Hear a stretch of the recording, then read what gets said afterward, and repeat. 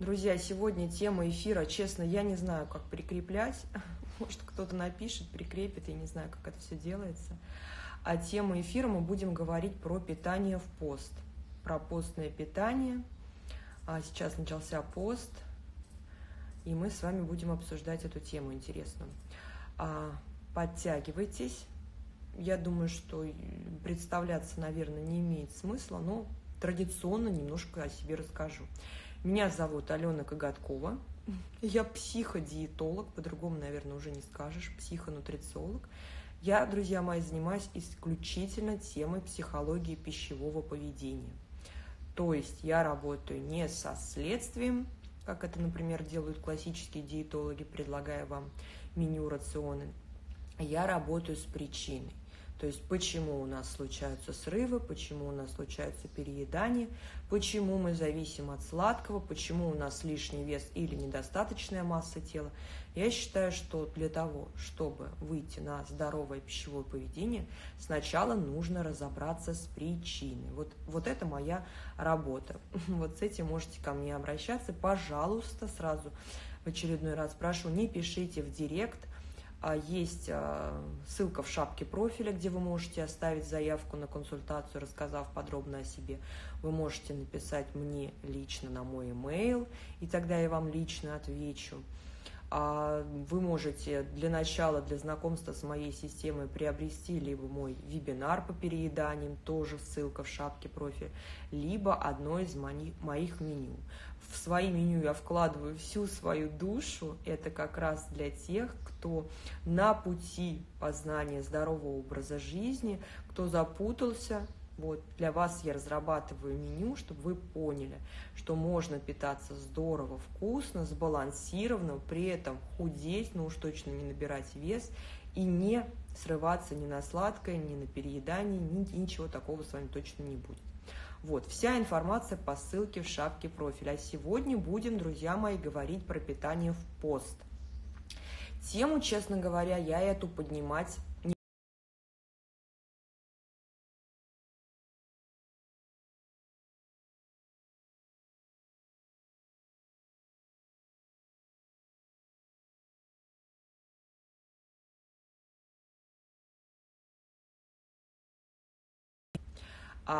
для большинства людей, и не отпирайтесь, пост – это диета. Мы в основной своей массе используем пост как попытку сесть на такую легализованную, хорошо э, такую подкрепленную промышленностью и производственной всей этой индустрии диету. Вроде как удобно,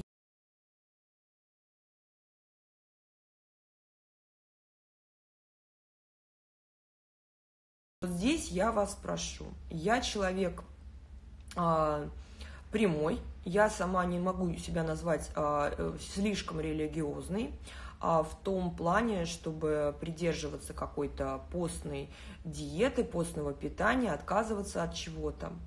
Поэтому я называю вещи своими именами.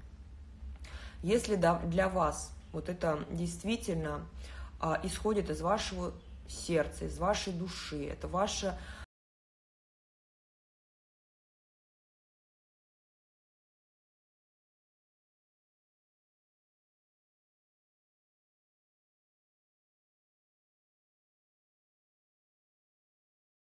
животного белка, но вы также и в других а, а, аспектах своей жизни, а, в том числе прибегаете к практике ограничения, да, тогда да, тогда есть смысл поститься. Если же вы в церковь не ходите, если в остальных сферах вашей жизни вы отнюдь не поститесь, то вопрос, зачем вам пост? Для вас все-таки это диета или для вас это действительно а, религиозная, глубоко такая необходимая вам а, духовная потребность. Вот. Определитесь для себя, что для вас пост. Итак, все-таки, если мы постимся, а, у меня есть клиенты, которые постятся, я работаю с такими людьми, хотя вот к постному меню мы так и не подошли. Наверное, может быть, это связано как раз с тем, что я не очень пока верю, что большая часть людей постится действительно из каких-то религиозных соображений. Многие все-таки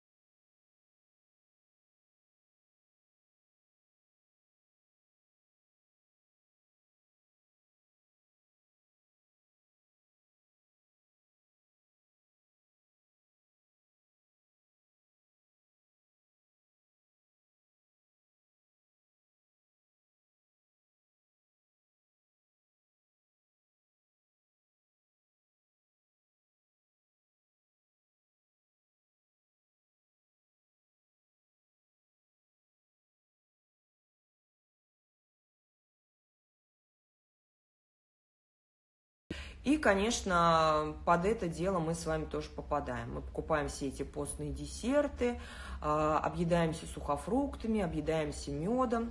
Чем мне не нравится вся эта история? Друзья, если вы поститесь действительно по велению души и сердца, что предполагает пост? Пост предполагает духовное очищение. Пост предполагает в том числе э, очищение и вот это вот очищение наших вкусовых рецепторов.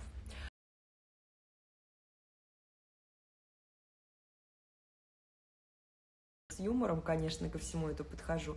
Но, ребят, мы стали настолько искушенные сегодня, что нас уже ничем просто не удивишь. Мы просто реально зажрались. Мы реально зажрались. Нам уже фрукты невкусно а, тортами мы объедаемся, булками мы объедаемся, все это на каждом шагу. Мы уже просто не знаем, у нас депрессия, реально депрессия это а, пандемия 21 века, и она в основном связана, вот а, все специалисты, мои коллеги, которые сегодня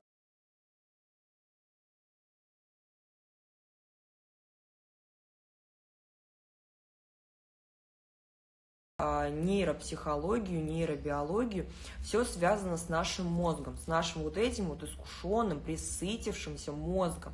И все депрессии связаны с тем, что мы уже присытились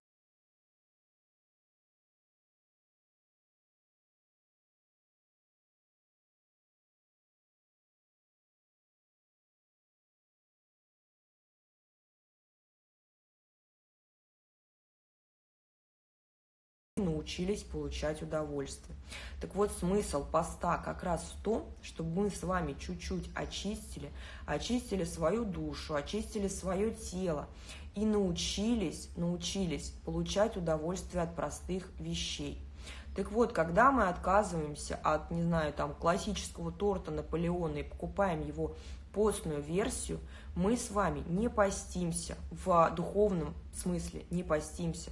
Да, мы соблюдаем принципы поста, у нас скоромный продукт, он не содержит продуктов живого происход... животного происхождения.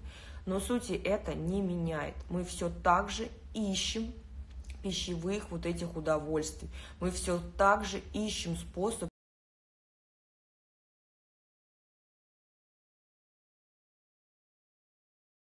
рецепторам очиститься вкусовым. Мы не даем возможности а, встряхнуть наши вот эти нейромедиаторы, дофамин, серотонин, эндорфины. Мы все так же их подстегиваем этими пищевыми наркотиками.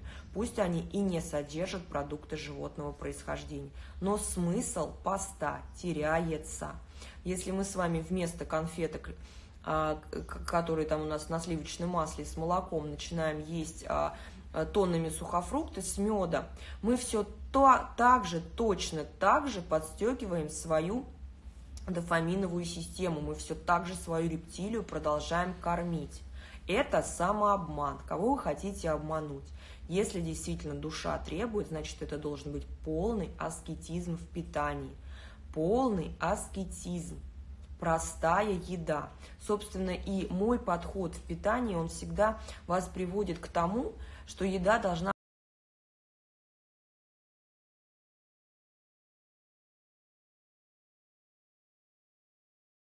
тем она нам а, больше дает в плане питания, но меньше дает в плане вот этого подкорми, подкормки своего рептильного мозга.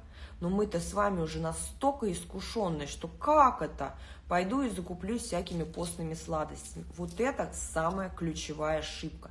Если на этом этапе вы уже сочиняете себе список,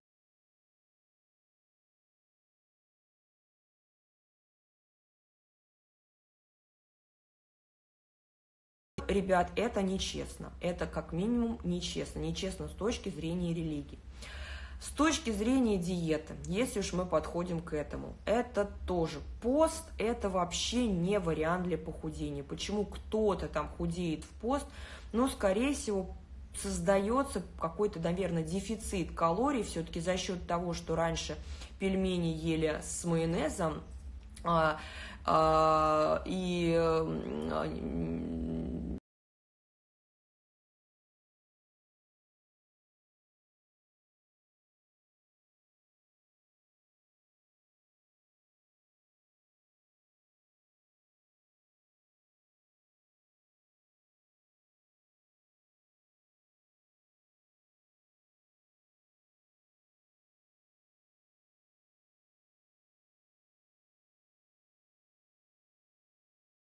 когда в нашем рационе больше белка, но меньше углеводов, как ни крути. Конечно, нет продуктов, как я вам и говорю всегда, от которых мы поправляемся или от которых мы теряем вес. Но есть продукты, от которых мы набираем быстрее и проще нам это сделать. Потому что, согласитесь, есть а, килограмм а, мяса, килограмм рыбы не так просто, как а, два кусочка торта. А, не так просто, как а, полбуханки хлеба. Вот, поэтому, когда мы с вами едим белок, животный белок, мы очень хорошо насыщаемся. Белок маленький по объему, но по насыщению он а, не сравнится ни с каким другим нутриентом.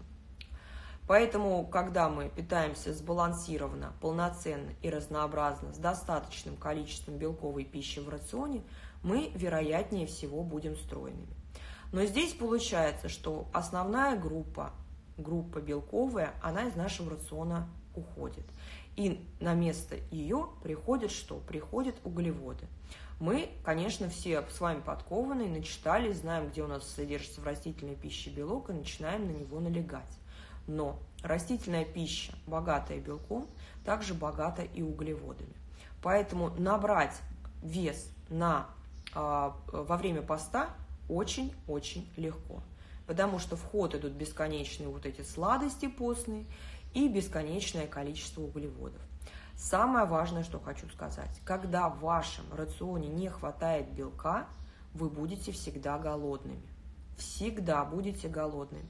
Вот все ваши тя тяга на сладкое, срывы, переедания. Первое, о чем я всегда говорю, рекомендую своим клиентам, рекомендую вам – Обратите внимание на сбалансированность своего рациона. А достаточно ли в нем белка? Все, абсолютно все без исключения, переоценивают количество белка в своем рационе. Все. Два яйца в день съела, где-то творога немножко поела и думает, что у нее достаточно белка. Всемирная организация здравоохранения рекомендует нам не менее 0,8 граммов белка на килограмм здорового веса в день. Мое личное мнение, дорогие мои девочки, а, что Всемирная организация здравоохранения, она молодец. Я во многом ее поддерживаю. Не могу не поддерживать. Но пляшет она, конечно, под а, правительство различных государств. И вот теперь представьте, что в зависимости от того, что нам рекомендует ВОЗ, а, у нас с вами поступает информация о некой продуктовой корзине, о неком прожиточном минимуме, о некой вот этой базовой пищевой корзине в рационе россиянина. И а, согласитесь со мной, макароны, картошка и хлеб стоят несколько дешевле, чем а, хорошая говядина, а, хорошая рыба и даже молочные продукты. Поэтому, если а, а, Всемирная организация здравоохранения поднимет норму белка до 2 граммов на килограмм здорового веса, как, например, считаю я, должно быть, и не только я, многие мои коллеги со мной соглашаются, большинство соглашается, будем откровенны, то сразу продуктовая корзина россиянина вырастет в два, а то и в три раза. Вырастет, она просто вырастет. Поэтому Всемирной организации здравоохранения ничего не остается, кроме как рекомендовать нам небольшое количество белка, но тем не менее рекомендовать, и забивать все остальное углеводами, которые доступны, еще раз повторюсь, большинству россиян. Поэтому, если вы обратите внимание, как питаются стройные и более-менее состоятельные люди, да, ну, мало кто из нас объедается картофельным пюре э, и всяким фастфудом. Вот я даже здесь, в Макс Роял, я отдыхаю, и я вижу, что люди берут огромное количество зелени, фруктов, а картофельному пюре мало кто подходит. Вот. Если мы поедем в какой-то другой, более-менее такой бюджетный отель, мы увидим обратную картину. То есть привычки нашего питания формируют наш образ жизни и, соответственно, то, какими мы будем. Поэтому, да, все-таки мы должны с вами понимать, хочешь быть стройным, хочешь быть сытым, хочешь быть красивым, счастливым и так далее, ешь достаточное количество белка. Набрать достаточное количество белка во время поста очень сложно потому что мы исключаем из своего рациона продукты животного происхождения. Теперь, что у нас с растительным белком? Первое, что вы должны запомнить. А, животный белок усваивается нашим организмом очень хорошо. Очень хорошо, что бы кто ни говорил. А коэффициент усвоения яичного белка а, и молочной сыворотки из творога практически стопроцентный. 98-99. У мяса близко к тому, где-то 90. Рыба чуть-чуть тоже отстает, но тоже 80-90% усвоения есть. Что касается растительного белка, то в лучшем случае это 40%. Понимаете? То есть уже разница в два раза. Вы съели 100 граммов а, творога, вы получили из него, соответственно, 16-18 граммов чистого белка, вы съели 100 граммов в сыром виде э, фасоли и получили из нее сколько белка? Допустим, в фасоли у нас 40-50 граммов, да? Соответственно, э, ой, простите меня, 20 граммов, соответственно, сколько вы из нее получили? 10 граммов в лучшем случае. 100 граммов фасоли в сухом виде, это, наверное, будет где-то, ну, мини, маленькая такая кастрюлька отварной фасоли, то есть нужно съесть, чтобы получить вот столько вот белка. Представляете, сколько нужно съедать? То есть это очень-очень много. Теперь подумайте, можно ли на таком питании похудеть? Нет, потому что ты всегда будешь голодный за недостатком белка, и ты всегда будешь переедать при этом по углеводам.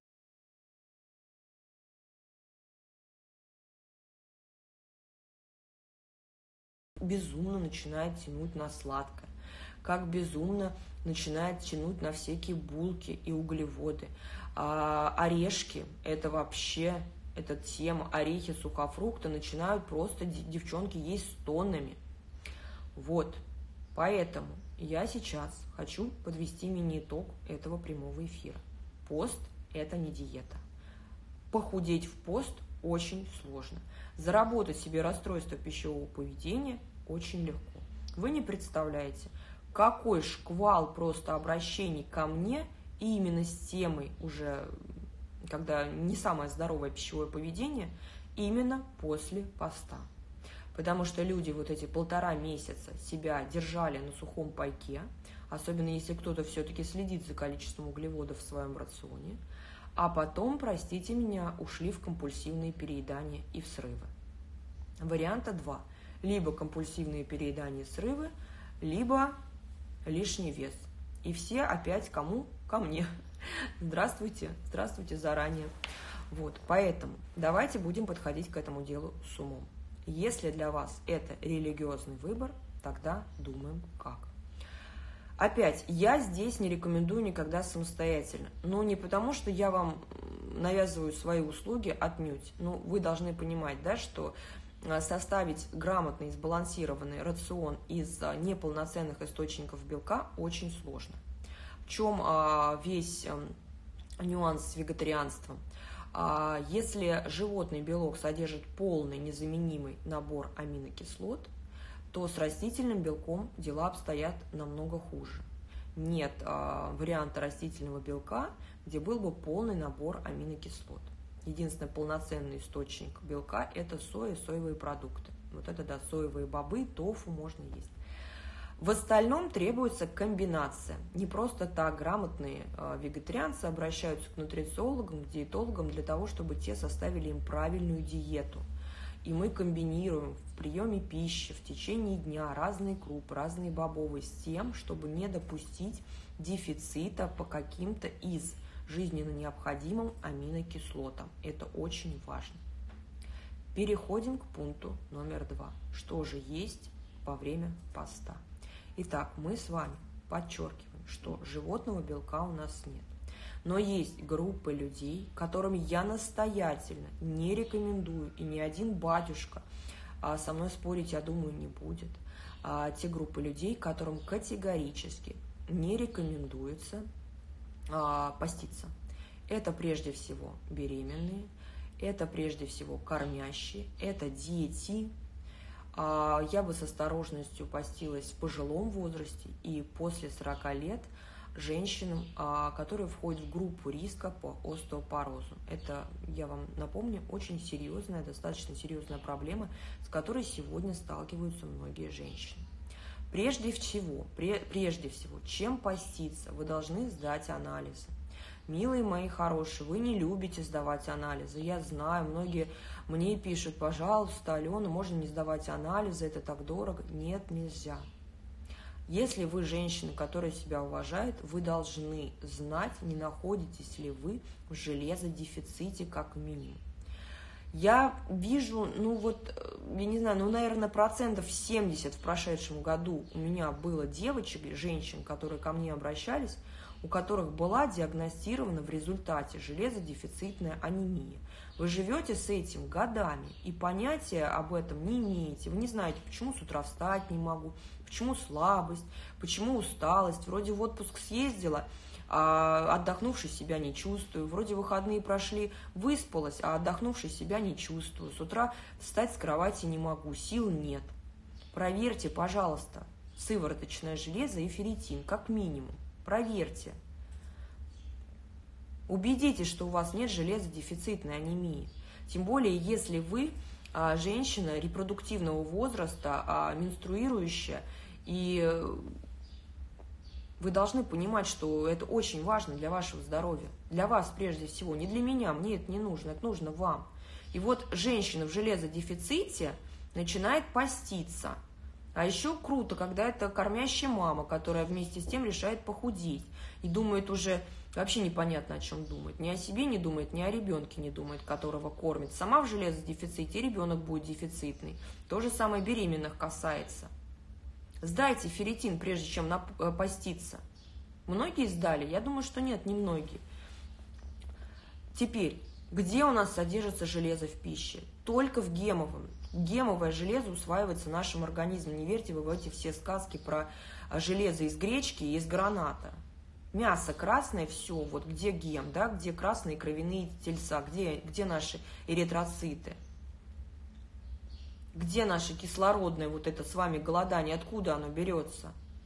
Почему мы в таком состоянии с утра встаем? Никакая гречка вас на ноги с утра не поднимет.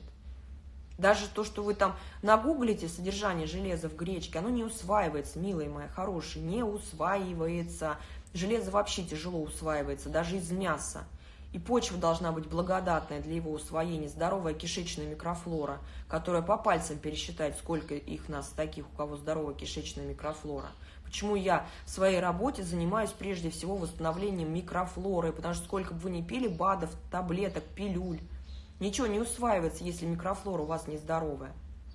Поэтому я на первом этапе занимаюсь тем, что давайте восстановим микрофлору и посвящаю этому кучу времени в работе. Потом уже все усваивается, и из пищи усваивается, и без БАДов. Поэтому, если вы входите в группу риска, не надо поститься. Почему женщины после 40 тоже настоятельно не рекомендую? Потому что идет потеря кальция. безумная потеря кальция. Вот до 30 лет кто не наел кальция, да, вот кто, кто не, не создал вот эти депо, запасы, 40 лет уже тяжело. И потом начинаем пачками есть творог. А в пост что делаем? Убираем творог, убираем молочные продукты. Опять же, про кальций. Все это сказки, истории. Он прекрасно усваивается из молочных продуктов. Прекрасно.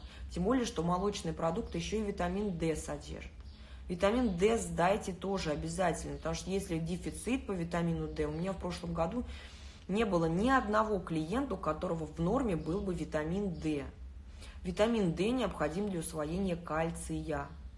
Ну сколько вам нужно съесть кунжута и миндаля, простите меня, и сколько килограммов прибавить, чтобы вы получили достаточное количество кальция? Я согласна, в кунжуте и в миндале кальция много. Сколько вы его съедите? 100 граммов миндаля 600 килокалорий нам дают. Девочки, дорогие мои. Ну сколько вы его съедите? А от 10 граммов вам в помине ничего не будет. Поэтому молочные продукты – это основной источник кальция. У женщин после 40 лет очень высокий риск развития остеопороза. Именно поэтому им рекомендуется особенная диета, профилактическая диета по предупреждению этого заболевания. И да, возможно, вам придется тогда принимать добавки на время поста. И если анемию обнаружат, и если дефицит по кальцию будет, то тоже необходимо, поэтому нужно обращаться к специалистам. Нужно о себе заботиться, нужно про себя думать. Почему мы себя вообще не ценим? Почему мы в Турцию 300 тысяч находим, я не знаю, кто там, миллион, кто 300, кто 50. А на себя мы анализы жалеем сдать пойти. Ладно, ко мне прийти, не приходите. Но анализы можно пойти сдать. Хотя бы к врачу какому-нибудь сходить в своей районной поликлинике. Девочки, ну элементарная забота о себе. Ботоксы, мне тут сказали, ботокс укол в лоб сделать 15 тысяч стоит. Я вообще обалдела. Я обалдела, понимаете, вот на консультацию прийти жалко денег, да, решить свои вопросы, закрыть свои вопросы со здоровьем, со своим самочувствием, со своим внешним видом. Но ботокс мы идем колем, губы колем, какие-то, не знаю, пилинги глубокие, неглубокие делаем, вместо того, чтобы заняться своим здоровьем. Я вот тут на, надегустировалась для вас этих тортиков, у меня прыщ он подкожный впервые за много лет выскочила. Поэтому а вы будете мне говорить о том, что сахар это не так вредно? Да вредно. Я вот прям вам могу сказать на тысячу процентов по себе вижу. Попробовала он две ложки, и прыщ тут же выскочил подкожный. Все только ради вас. Видите, эксперименты над собой провожу. Мучаю себя как, дегустируя всякие там тирамису и чизкейки. Страдаю. Вот. Поэтому, мои хорошие, давайте на себе экономить не будем. Начнем с обследования. Итак, если вы обследовались, все у вас хорошо, вы не входите в группу риска, а, вы религиозно настроены, а, конечно, пост – это пост. Вот, теперь, первое, что нужно запомнить, давайте не будем налегать на углеводы, на сладкое, забудьте, прям вот, вот себе прям вычеркните, вычеркните из списка покупок. Тонны сухофруктов, тонны меда, тонны всех этих постных сладостей – Э, сушек, э, выпечку уберите, пожалуйста, сразу. Вот всю эту белую муку, э, всю эту сдобу из белой муки, весь этот белый хлеб, весь этот белый рис, все это убираем. Наше с вами питание должно строиться на чем? Зерновые содержат достаточное количество белка, но больше всего углеводов. Бобовые содержат больше белка, но тоже содержат много углеводов. Посмотрите, пожалуйста, на пачке фасоли. Вы обнаружите те же 50 граммов углеводов. Поэтому мы не должны перебарщивать. Если есть возможность, продукты. Я знаю, что э, здесь э, подход у церкви неоднозначный. Кто-то запрещает э, морепродукты, кто-то разрешает. Но я все-таки, если вы чуть-чуть о себе больше думаете, рекомендую хотя бы кальмары, а, креветки, вот такую еду оставить в рационе, потому что они все равно содержат очень много белка, содержат мало жира и, и не содержат углеводов. Поэтому хорошая сытость и при этом э, не перейдите по углеводам. Вот, поэтому, если есть возможность, морепродукты оставьте. А, рыбу, если возможно, оставьте. Если оставите в рационе рыбу и морепродукты, то в принципе, то в принципе, вам вообще можно эфир не слушать, вы точно в группе безопасности вот, по, по набору веса, по перееданию во время поста. Потому что рыба и морепродукты являются полноценными источниками белка. При этом мало калорийными, ну, если мы не берем, конечно, жирную семку. Вот, а про сою сказала, тофу сказала. Тофу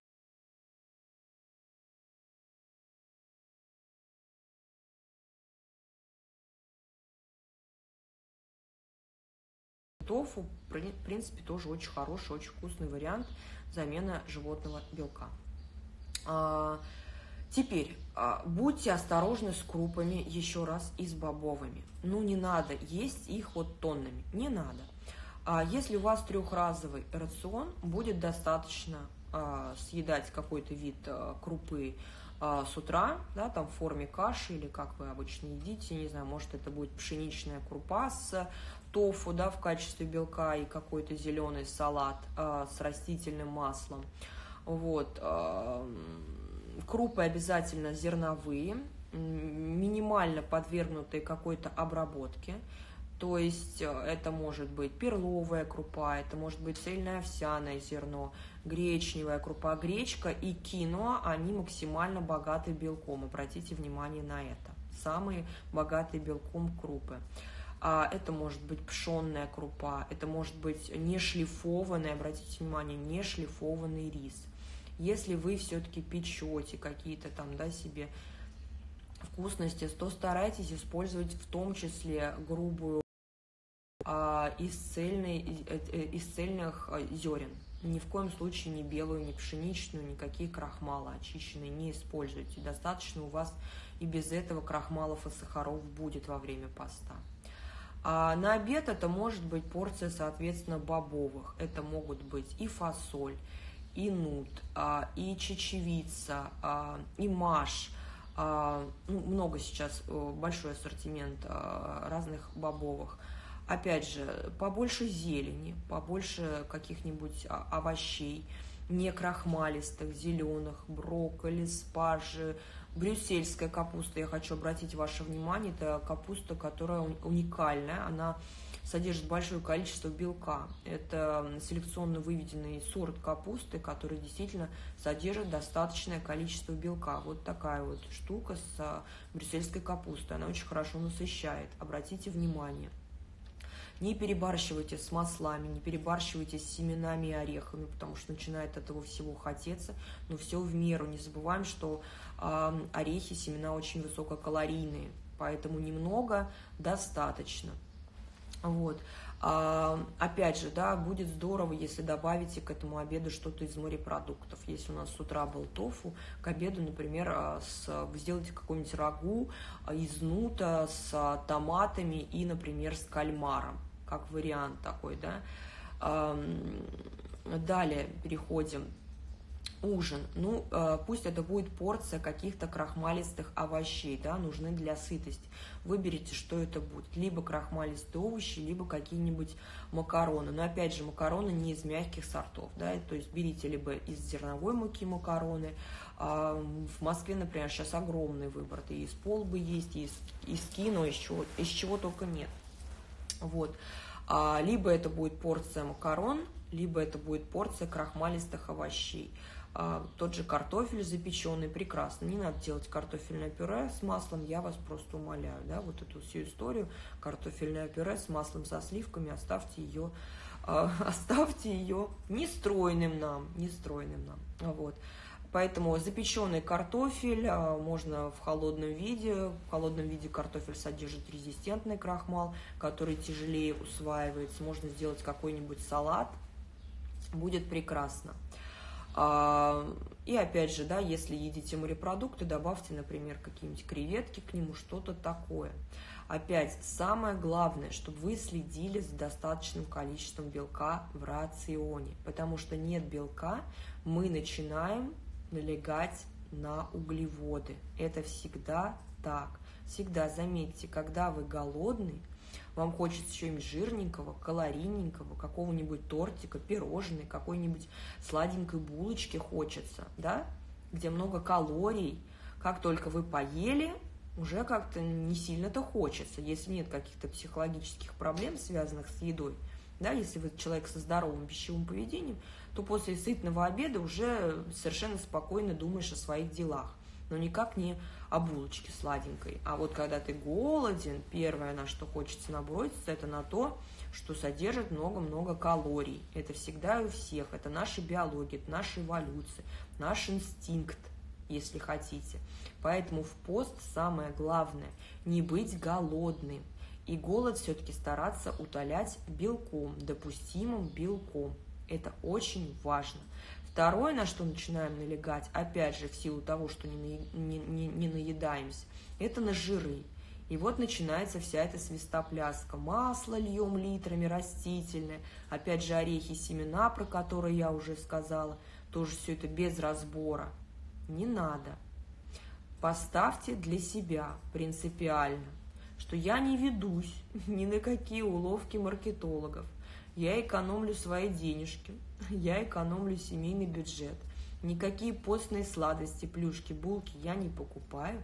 Мое питание простое, аскетичное, из самых доступных продуктов. Ешьте больше овощей, ешьте больше корнеплодов. Но вот эта вся история с винегретами, да, где отварная свекла, отварной картофель, все это мы еще за, да, да, заправим постным майонезом, это все не для нас не для нас. Запомните, порция зерновых, порция бобовых, порция каких-то крахмалистых овощей. Очень-очень бдите и следите за этим. Все. Все остальное мы добираем фруктами, овощами, не крахмалистыми овощами. Вот, вот и белком, и белком. Тот белок, который вы себе можете позволить во время поста.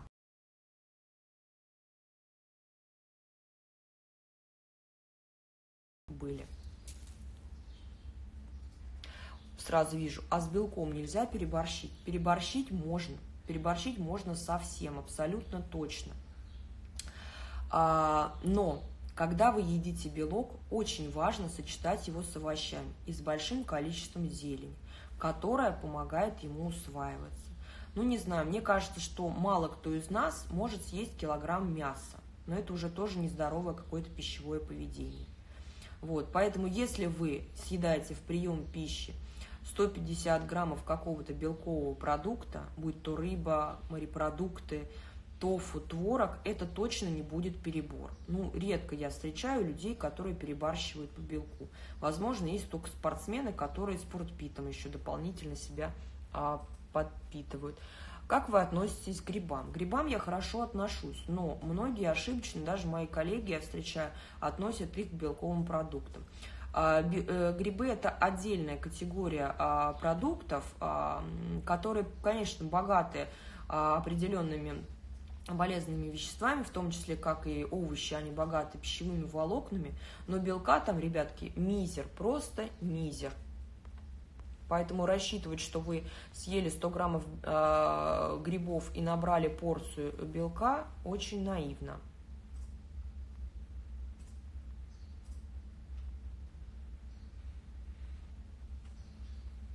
Так.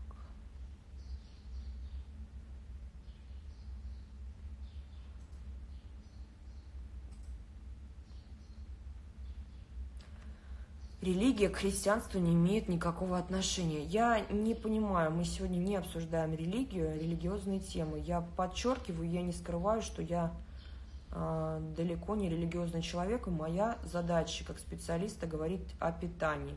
Фрукты невкусные, когда у людей неправильное пищевое поведение. Слишком много сахаров. Абсолютно согласна. Знаете, вот я здесь пробую десерты, ну просто вот, ну реально, вот первая ложка, она может какая-то, вот кажется что-то вкусное, необычный вкус, но по сути это просто сахар, и потом безумное послевкусие, вот это зубы сводит, хочется кофе запить, И другая совершенно история с фруктами. Фрукты просто очень вкусные, очень вкусные. Если вы на какое-то время отказываетесь от сахара, я вам гарантирую, что у вас вся еда, она заиграет э, совершенно другими красками, абсолютно другими.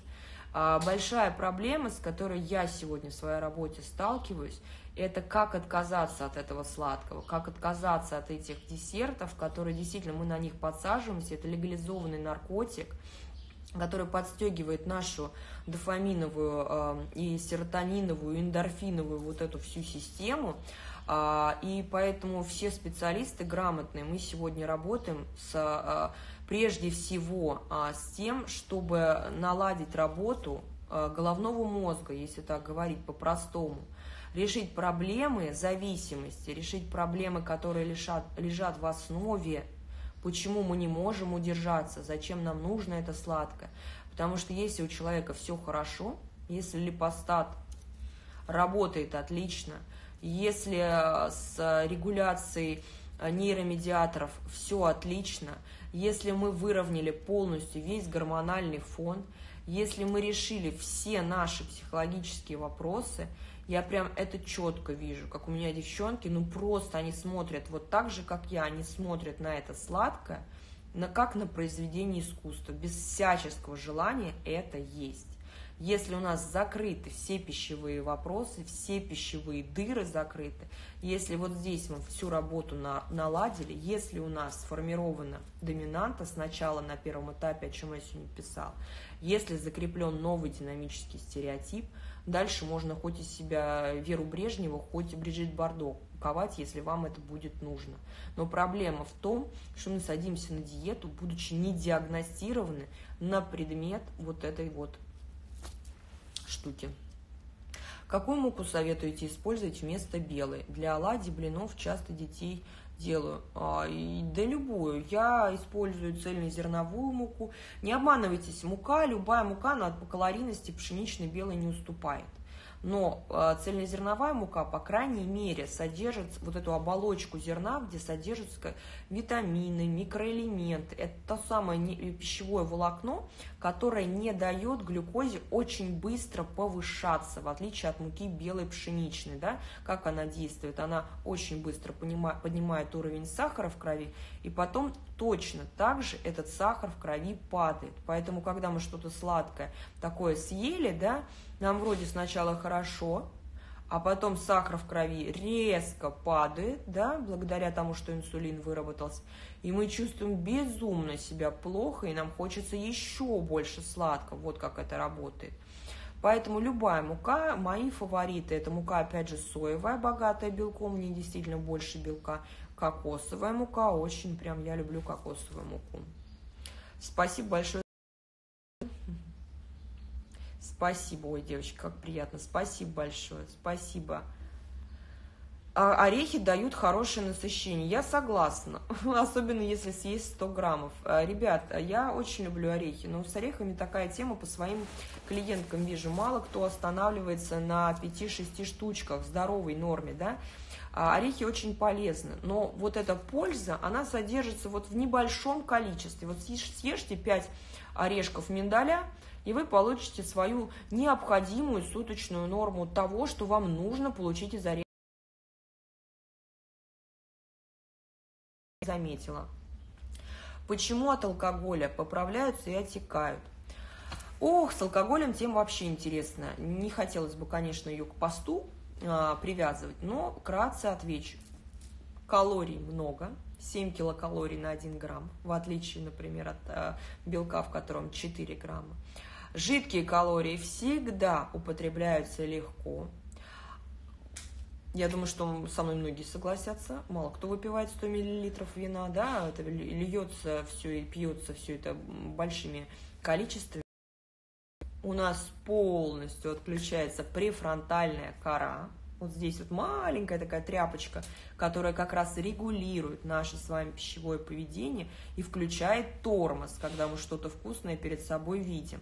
Вот эта вот тряпочка отключается, там включается снова наш первобытный вот этот рептильный мозг, И под это дело, простите, девочки, мы начинаем еще и переедать, да, тормоза отключились, начинаем вкусно много есть. Вот поэтому и, пере, и поправляются на фоне этого переедания. Ну и плюс, конечно, углеводы, они всегда притягивают и задерживают воду, а алкоголь – это углеводы. Поэтому отеки, прибавка в весе – все это, конечно, целый комплекс. Поэтому я категорически вообще против алкоголя, но я по разным соображениям против алкоголя, но и на диете вот по своим клиенткам я вижу. Ну, кто продолжает выпивать, ну, тяжело, очень тяжело худеть, очень, очень тяжело контролировать свое пищевое поведение. И, конечно, зависимость от алкоголя, необходимость выпивать, это тоже не, не, не здоровый признак. Не, это не признак здорового пищевого поведения, имейте это в виду. Вроде доказано уже, что много белка организм не усваивает. Ну, я не знаю, кто, кто там чего доказывает. Вот эта вот вся история, что организм усваивает за прием пищи 30 граммов белка, она, конечно, э, растиражирована желтой прессой как только возможно. Доказательств этому научно обоснованных никаких нет. Белка организм возьмет ровно столько, сколько ему нужно. Поверьте мне никаких складов белка гниющего, ну, ни, ни один патологоанатом нам пока нигде не, не выложил, не показал. Теперь, даже если предположить, что 30 граммов белка усваивается за прием пищи, то, в принципе, мало кто из нас в прием пищи съест белка больше. Это как раз те самые 150-200 граммов белковой пищи, про которые я говорила. Если вы тем более едите достаточное количество овощей, еще раз повторюсь, а клетчатка помогает усваиваться белку, помогает перевариваться э, и не, не откладываться в виде гниющих остатков, как многие полагают, то ничего страшного не будет. И килограмм мяса мало кто съест за раз. Если получится, эфир сохраню. А что делать, если будет выявлен железодефицит? Только терапией таблетками или коррекцией питания?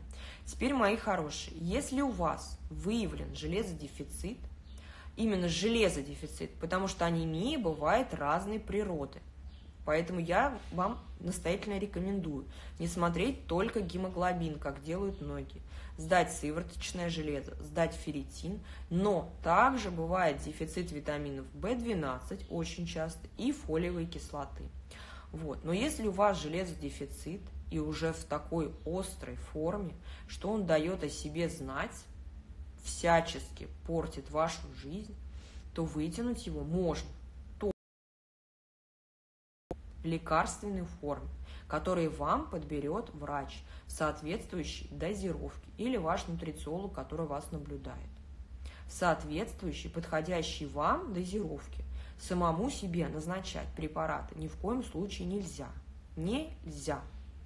А у меня есть и были клиенты, которым даже лекарственные формы не помогали. И помогали только капельницы. Дальше. Задача вашего нутрициолога. Понять, Почему это произошло? Были ли вы просто в дефиците по э, питанию или что-то не так с вашей кишечной микрофлорой, которая не усваивает железо? И дальше мы уже работаем над тем, чтобы восстановить кишечную микрофлору, чтобы она усваивала все, что должна усваивать, и мы с вами прекрасно жили без препаратов железа. Потому что многие обнаруживают, что действительно у лекарственных форм железа есть много неприятных побочных эффектов. Если уж вы себя довели до такого состояния, потерпеть придется. Как вы относитесь к лавашу? Ну, это хлеб. Я не знаю, кто придумал, кстати, что лаваш это какой-то зожный. Вот правда, у меня тоже клиенты есть, которые новые приходят, они еще не, не, не, не в теме, э, и мы разбираем всякие мифы. Кто придумал вот эту всю историю, мне интересно про то, что лаваш это какой-то вот зожный такой продукт. Слушайте, ну лаваш это просто белая мука и э, вода и соль. Ну, дрожжей там нет, я не знаю, ну, наверное, кто, кто, кто дрожжей боится, я не знаю, мне кажется, это тоже такой большой миф сегодня. Ну, разницы никакой нет с диетической точки зрения, дрожжевой или бездрожжевой живой хлеб. Вот мне присылают дневники, и там, знаете, прям подчеркнуто, хлеб без дрожжевой. Я говорю, а почему подчеркнули? Но это значит, что он же не вредный. А чем дрожжи-то вредные? про дрожжи это большая история, большой миф, это ну, ну, ну просто смех, честное слово, я может быть как-нибудь пост даже на эту тему напишу.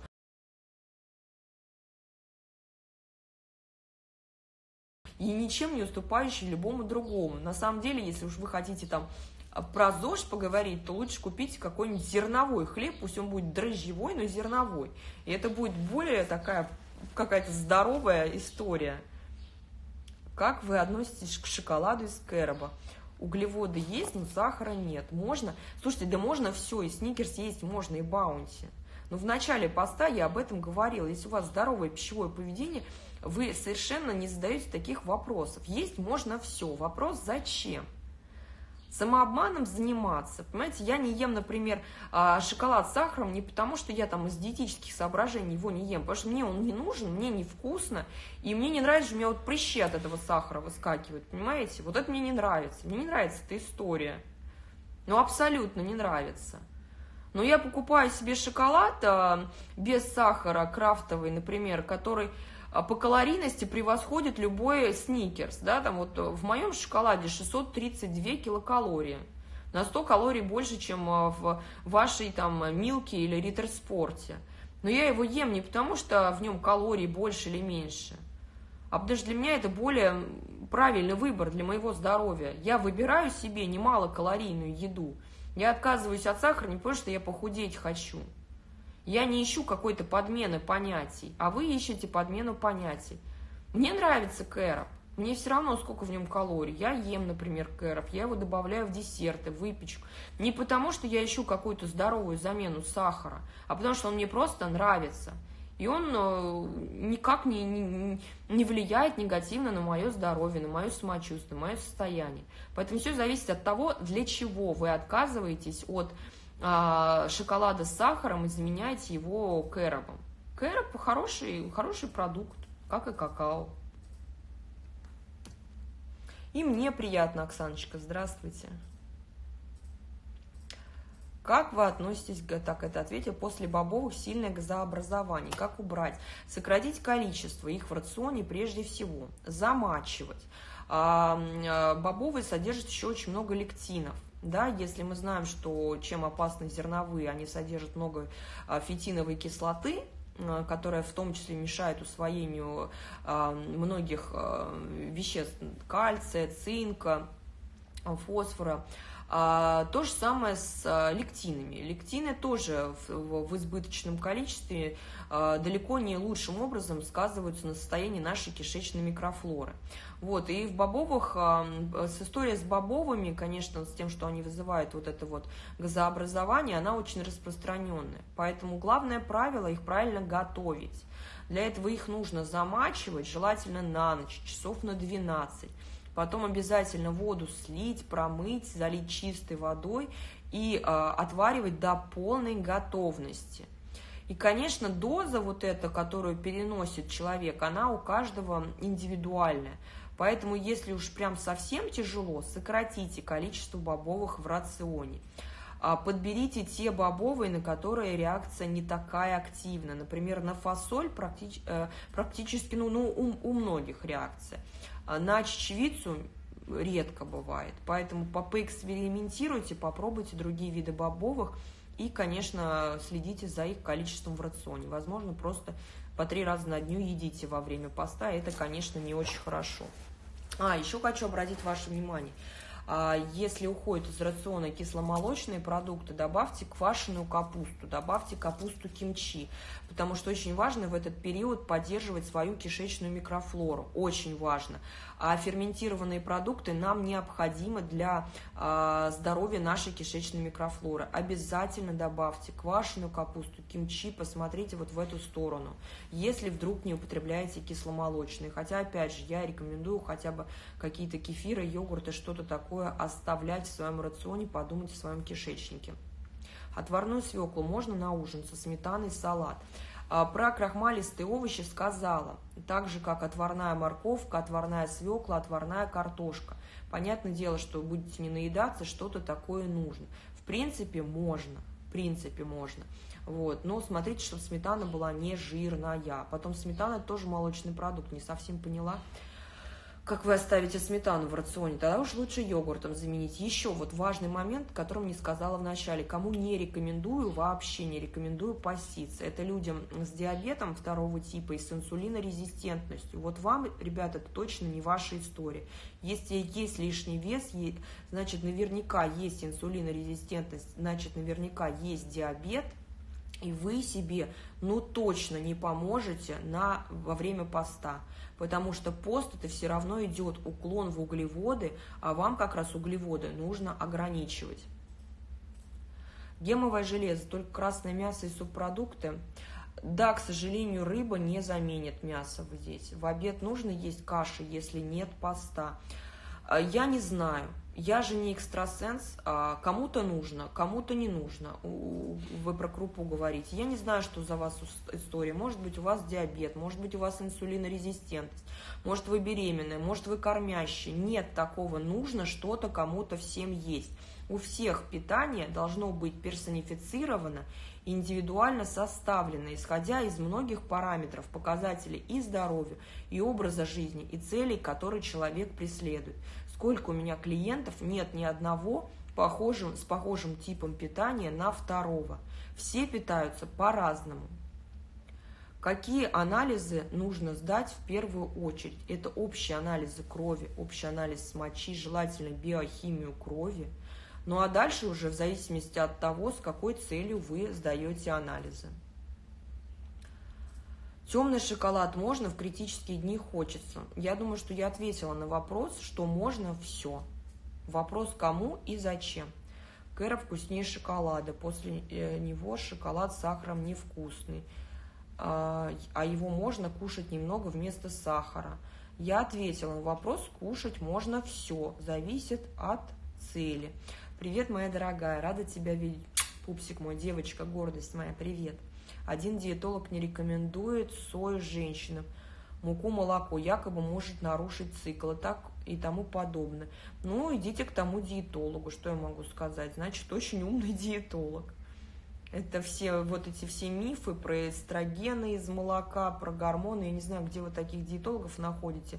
Не может диетолог, который учился, получал, а, получал образование, такие вещи говорить на каком молоке лучше покупать кофе, покупая в азбуке вкуса. А, слушайте, если во время поста, то я рекомендую либо брать безлактозное молоко, либо брать э, какое-то любое растительное молоко. Ну, пожалуйста, читайте состав, потому что большинство видов растительного молока содержат кучу всяких добавок и, самое главное, кучу сахара, а еще всякие сиропы. Вот если это будет состав чисто миндаль, чисто вода, берите.